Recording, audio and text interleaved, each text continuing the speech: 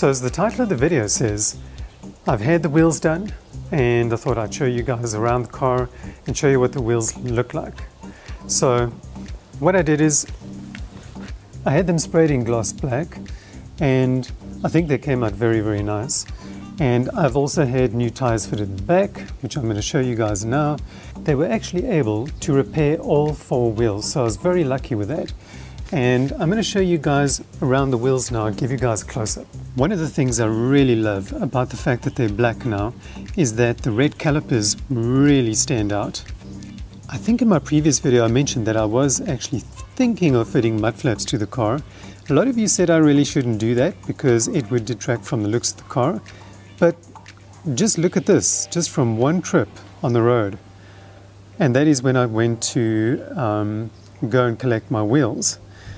So I think I'm going to be fitting my flaps to the car and I don't think they're going to be um, intrusive into the looks of the car. I think they're actually going to look quite nice. Just getting back to the wheels, they actually gave me a loaner set of wheels to use for a few days while they had my wheels and were repairing my wheels.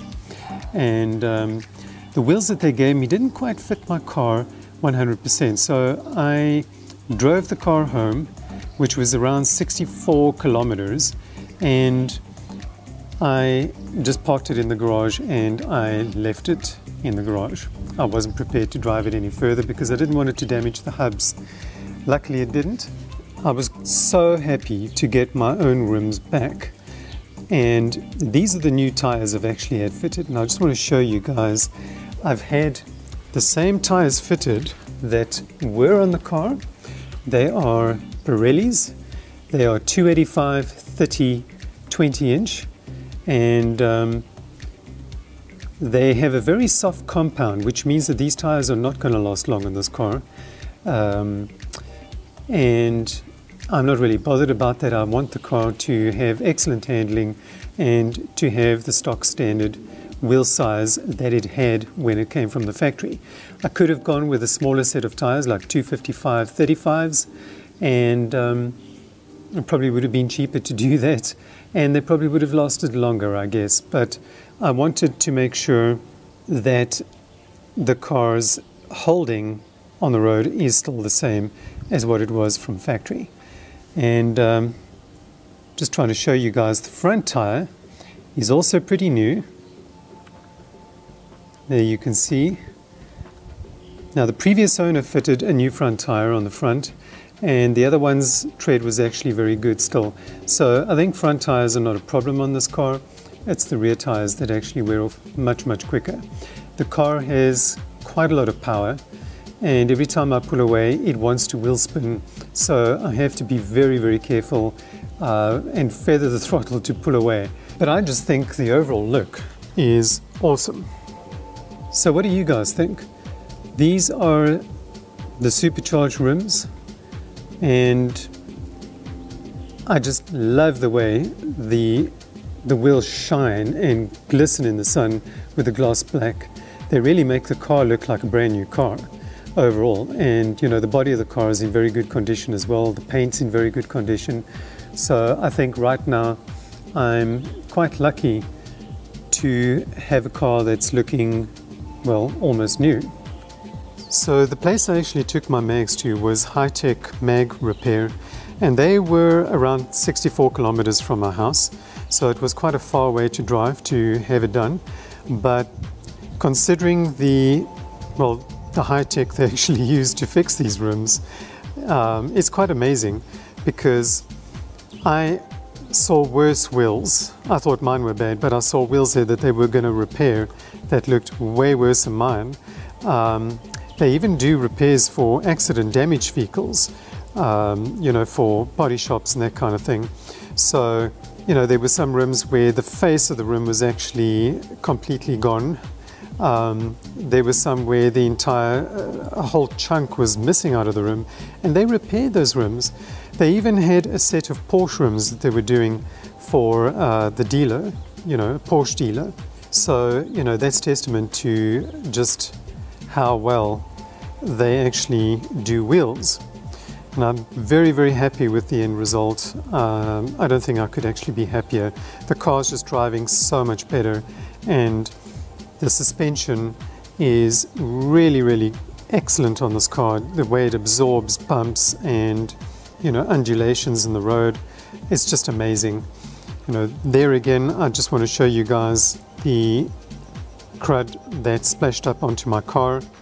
I told you guys in my previous video, these cars do need mud flaps, especially on a white car. You're going to end up having your car look like that. I haven't ordered a set yet, and unfortunately there's not much that I can order from AliExpress because most of my orders they've actually asked me to cancel. They've been giving me some really, really strange reasons. Um, you know, like the spoiler, for example, they told me that the mold for the carbon fiber spoiler that I ordered is broken um, or was damaged in the floods or something like that. I can't remember, but I had to cancel the order. So, and I'm not prepared to pay $100 shipping for a spoiler that costs only $90.